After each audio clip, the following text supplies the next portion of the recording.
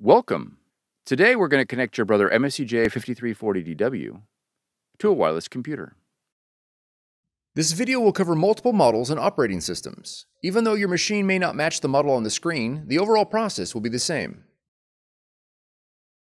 You will need to gather some information about your wireless network in order to connect your machine.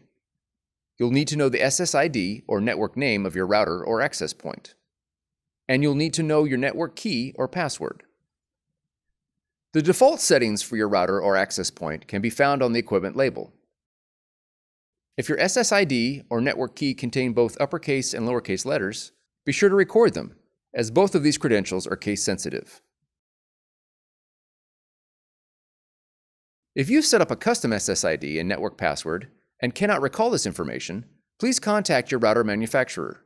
Setup cannot be accomplished without this information. Begin by pressing the settings icon on the touchscreen. Then select the network option. Select WLAN from the option list. Select Find Wi-Fi Network. When prompted to enable WLAN, press Yes.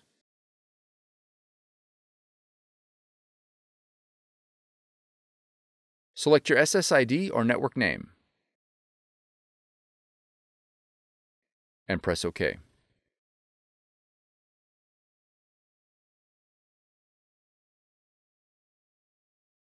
Enter your password or network key using the touchscreen.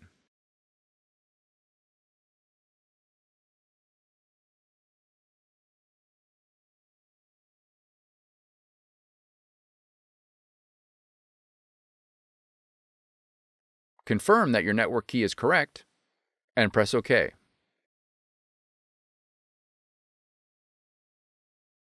Once the wireless connection is made, press OK.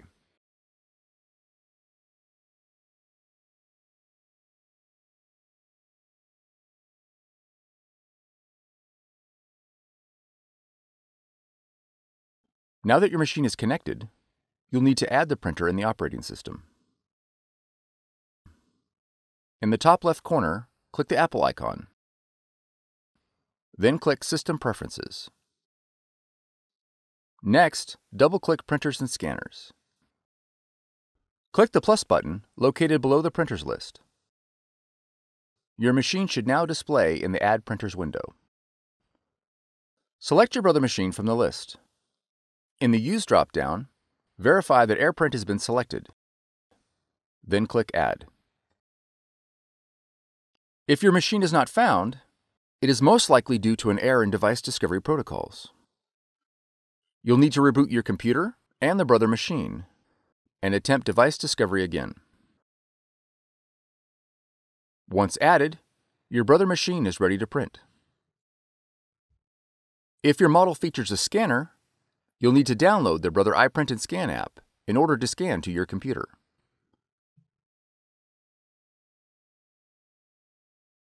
From the Finder, navigate to Applications,